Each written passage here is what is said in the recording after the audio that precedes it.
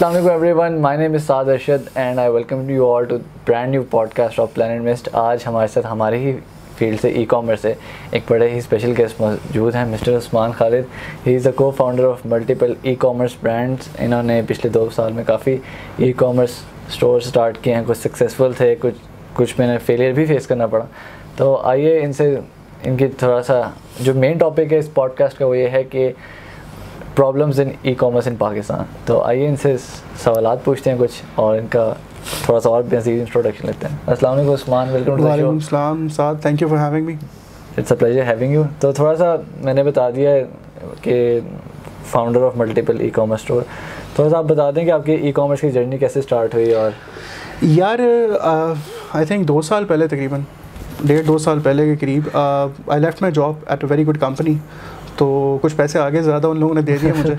तो हम लोगों ने सोचा कि चलो कुछ स्टार्ट करते हैं। अब थोड़ा बहुत एक्सपीरियंस भी था। तो हम लोगों ने एक सॉफ्टवेयर हाउस स्टार्ट किया। अब अल्लाह का करम ऐसा हुआ कि एक अच्छा प्रोजेक्ट मिल गया। उधर से भी पैसे आ गए।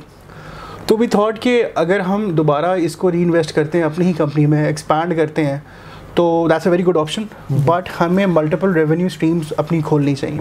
हम्म। तो उस वक्त हमने एक ई कॉमर्स ब्रांड जो है वो स्टार्ट किया।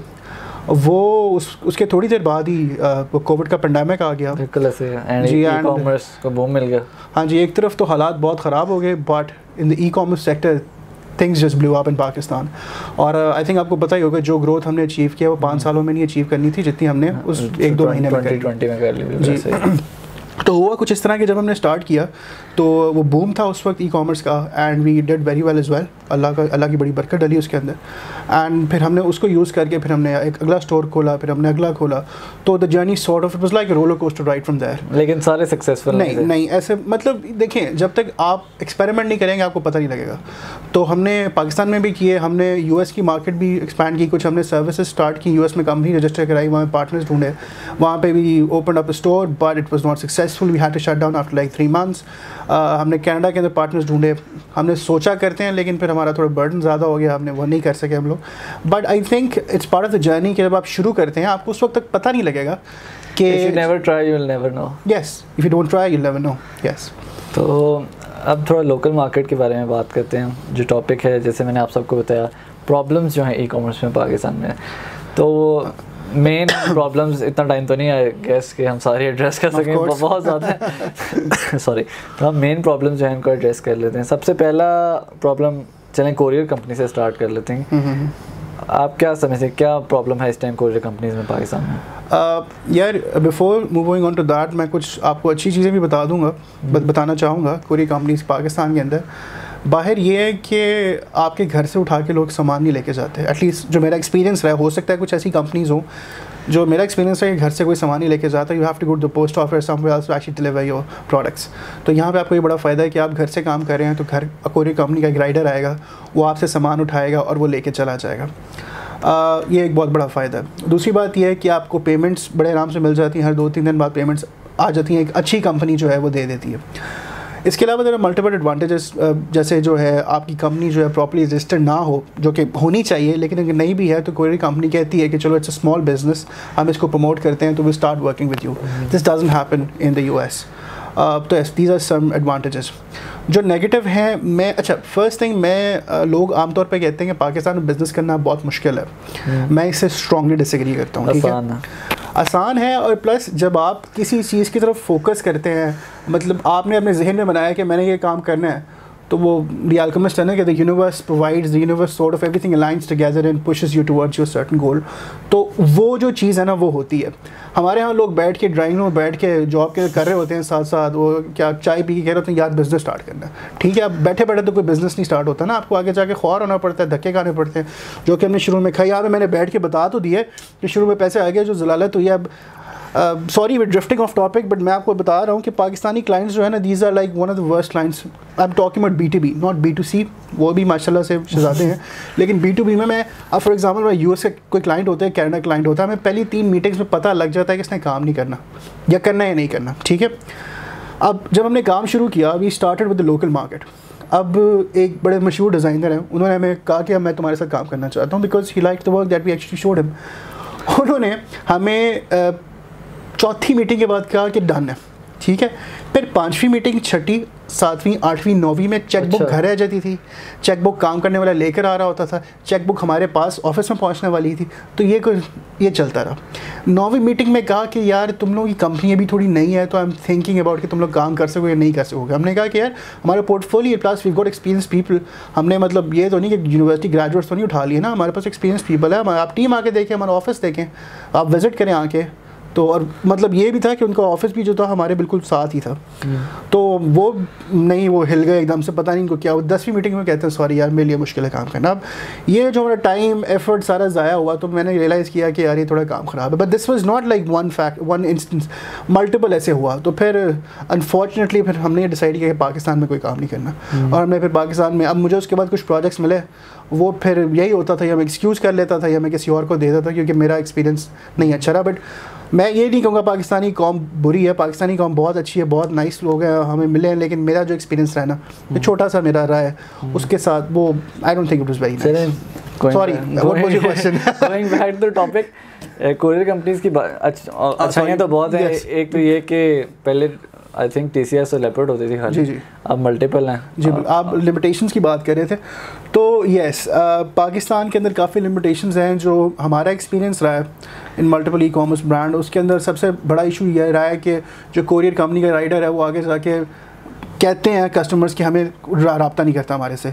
या वो क्या कहते हैं रबता कर भी लेगा तो हम Effort नहीं करेगा। एफर्ट नहीं करता। For. Example he comes in the morning अगर वो आता है ग्यारह बजे आता है तो let's say I am at work I am in the office I can't receive the parcel I don't have a family for example अगर घर पे कोई नहीं है तो बेल बजाएगा वो फ़ोन नहीं करेगा वो बेल बजाएगा कोई नहीं है वापस चला जाएगा। ठीक है?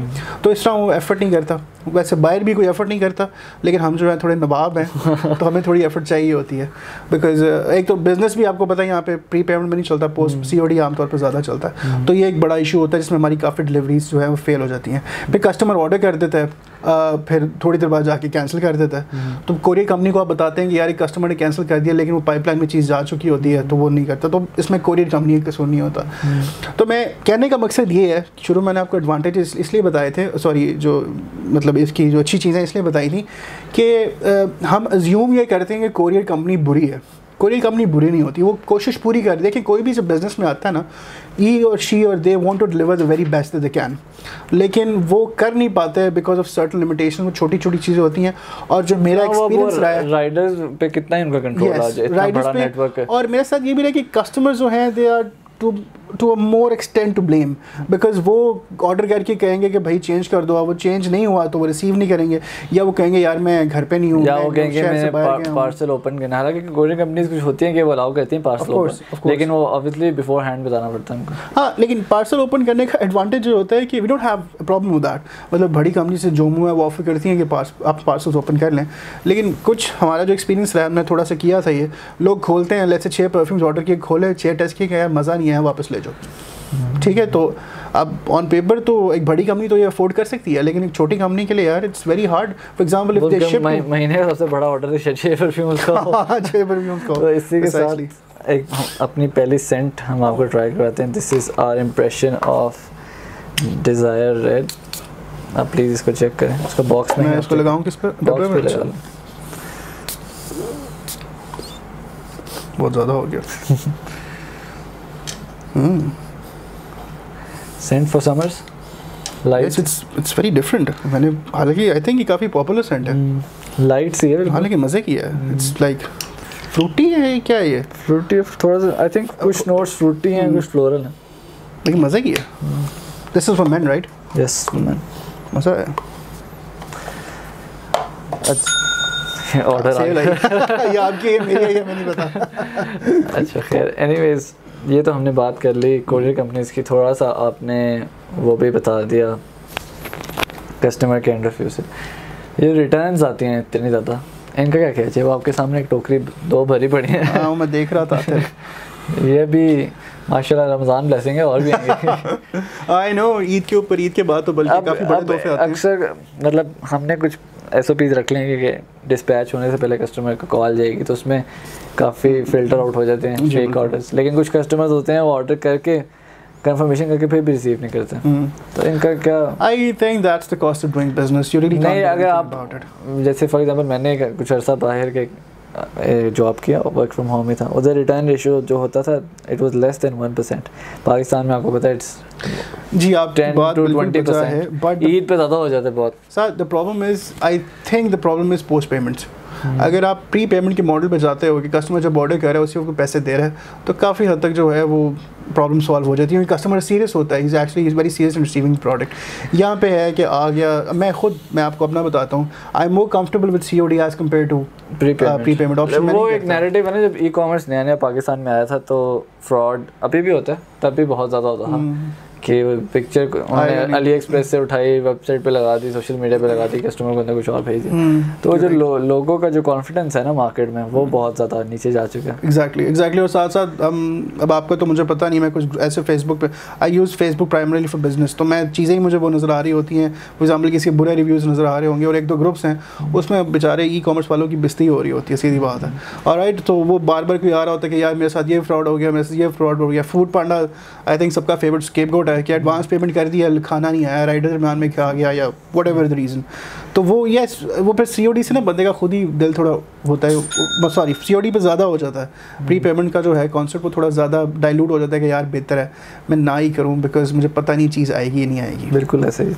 तो अच्छा तो ये हमने दो मेन चीज़ें डिस्कस कर ली। रिव्यूज़ का आपने थोड़ा सा कहा। रिव्यूज़ का सबसे बड़ा प्रॉब्लम जो मैंने देखा वो ये है कि एक कस्टमर्स को आपको प्रोडक्ट पसंद आई ठीक है बहुत ओवर में तो आपको मैसेज कर देगा रियली लव योर प्रोडक्ट जी बिल्कुल। बहुत मुश्किल है कि वो कहीं फेसबुक पे रिव्यू डालें कहीं। अगर एक कुछ भी for any certain reason product नहीं पसंद आती अब परफेक्ट तो कोई बिज़नेस में नहीं है। यस बॉटल टूट जाती है रास्ते में कुछ होता है हम्म। तो कस्टमर सबसे पहले रिव्यू डालेगा पूरा दस गालियाँ देगा उसके बाद अपने right. सर्कल में लोगों को कहीं नहीं बैठेगा बताएगा यार मेरा साथ ये हुआ था।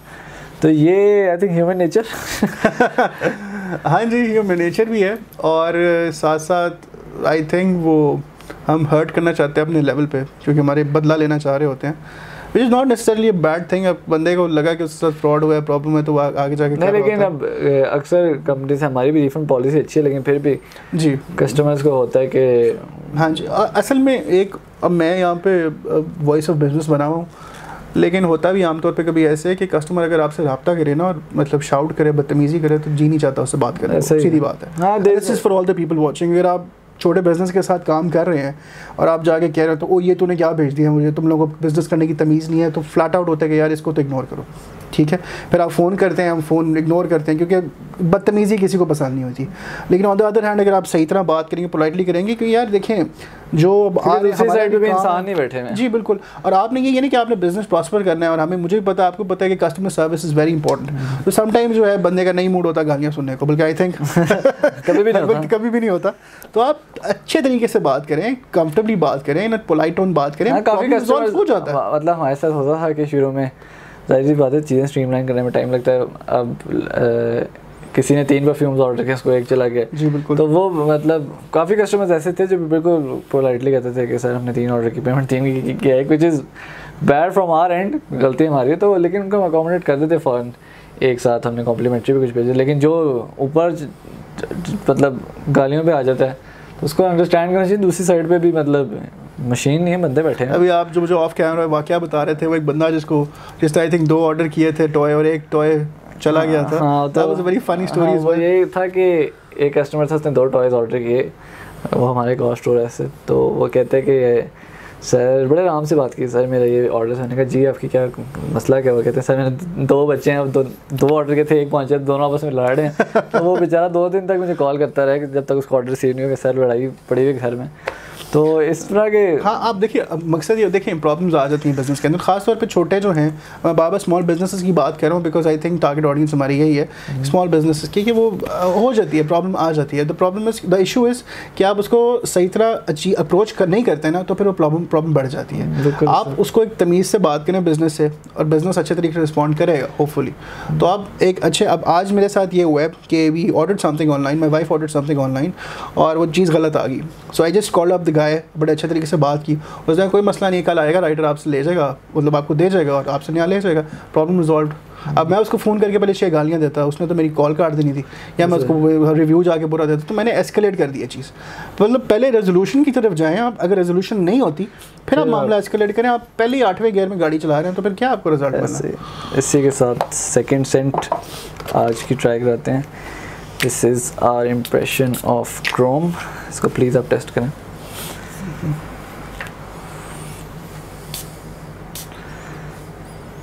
Oh, this is nice. This is nice. ये मैंने जितने भी सेंट्स रखे हैं ये समर रिलेटेड सारी रखी हैं। I think this is more like party wear something. Summer में वैसे भी थोड़ी आपको ना फ्रेश एंड लाइट सेंट्स हाँ but this is more like evening party stuff मेरा मैं फ्रैगेट कोई नहीं हूँ लेकिन मुझे कोई वो समर वो जो होती नहीं है शाम के वक्त parties this is actually good ये क्या है? Chrome iron brush this is nice thank you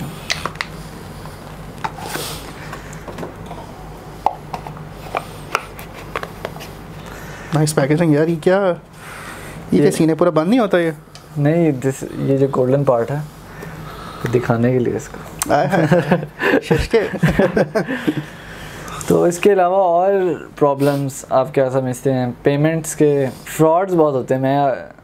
आपको एक कस्टमर ने हमसे ऑर्डर किया हर order was worth ten K उन्होंने कहा कि मैं आपको प्री पेमेंट करना चाहती हूँ। हमने कहा ठीक है। शी सेंट मैंने बैंक डिटेल थी शी सेंट ए स्क्रीन जो कि एक टेम्पर्ड थी बैंक ट्रांसफ़र तो मुझे कभी कभार होता है कि आपको पेमेंट ना एक आध दिन बाद मिलते हैं तो मुझे थोड़ा सा बिकेम अ लिटिल सस्पिशियस तो मैंने उसका ऑर्डर रोक दिया। मैंने कहा इसको ज़रा जब तक पेमेंट मेरे एंड पे नहीं है मुझे कंफर्म होगी। पहले मैं कर लेता था कि मुझे पता था बैंकिंग में ऊपर नीचे सीन होता रहता है पैसे एक दिन बाद आते हैं।